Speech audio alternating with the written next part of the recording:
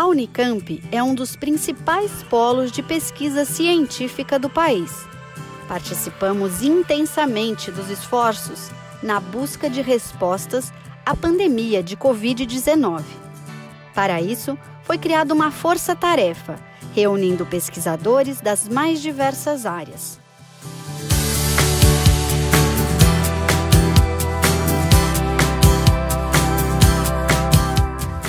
Testes, medicamentos e equipamentos, assim como os impactos sociais e econômicos, são alguns dos temas investigados. A série Extensão 48 Coronavírus traz para você um pouco desse universo. Neste vídeo, começamos com cinco das pesquisas que estão sendo feitas no Instituto de Biologia da Unicamp.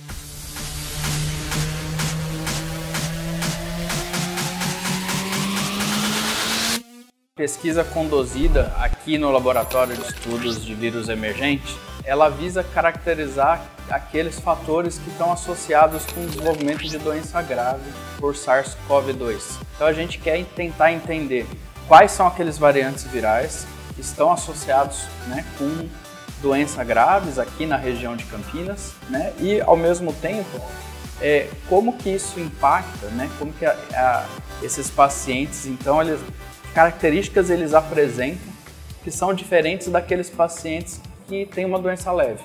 É a geração de conhecimento que pode minimizar então a, o impacto disso né, aqui na nossa região, né, e talvez no globo como um todo.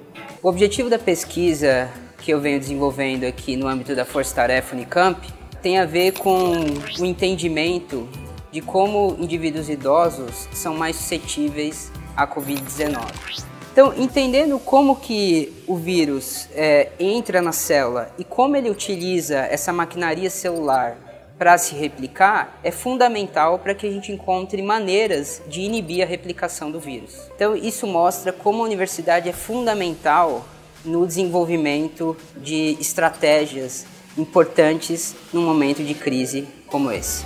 A nossa ideia é fazer o estudo da dispersão do vírus também no estado de São Paulo, entendendo como é que foi a introdução do vírus na cidade e como ele está se dispersando para toda a população do país.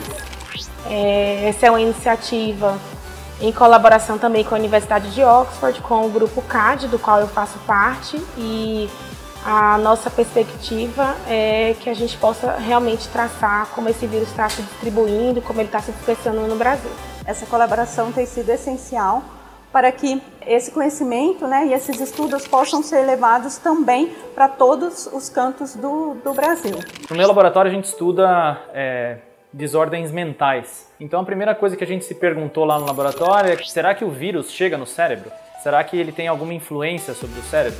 Então é bastante importante que a gente entenda qual é o mecanismo que os vírus usam para invadir o cérebro, para que nós possamos pensar em medicamentos que sejam específicos para pacientes que passem a desenvolver sintomas neurológicos. O objetivo da pesquisa que a gente tem em relação ao Covid é tentar entender como que o vírus infecta a célula, como que ele usa as vias metabólicas dessa célula para se replicar, por exemplo. O outro braço do projeto é a gente entender quais são os fatores de risco associados à maior gravidade da Covid-19 em um grupo específico de pacientes, que são os pacientes diabéticos. E dentro dessa força-tarefa, o que a gente tem interesse é entender como que a microbiota pode interferir na infecção pelo vírus SARS-CoV-2.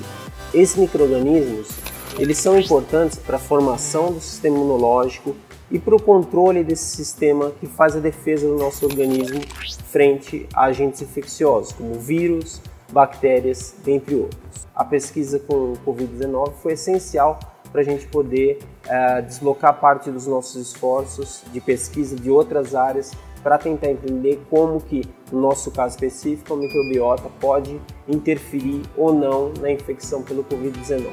Minha linha de pesquisa é entender a função de genes, como os genes atuam no comportamento de células de um modo geral eu estou vendo o organismo, eu estou vendo que o vírus ele faz esses processos e a gente sabe que existe o material genético do vírus. Né? É isso que a gente identifica nesses, na maior parte dos testes que a gente faz. Né? É um processo que desenvolveu através de uma resposta é, de ataques virais. Então esse aprendizado nós temos no nosso sistema imune.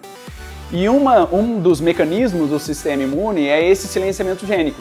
Recentemente, a FAPESP, assim como a FAEPEX, que é o Fundo de, de Amparo à Pesquisa, Extensão e Ensino aqui na Unicamp, é, abriram fundos dedicados ao estudo da Covid-19.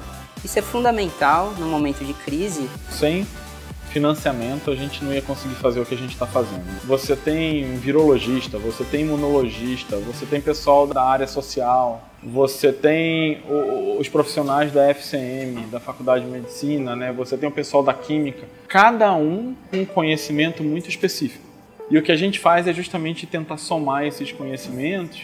Quando a gente tem uma pergunta, diferentes frentes possam ajudar de uma forma muito rápida a responder essas diferentes perguntas. Acho que nunca antes na história da humanidade no planeta Terra a gente impactou tanto o ecossistema e a vida nesse planeta como a gente impacta agora.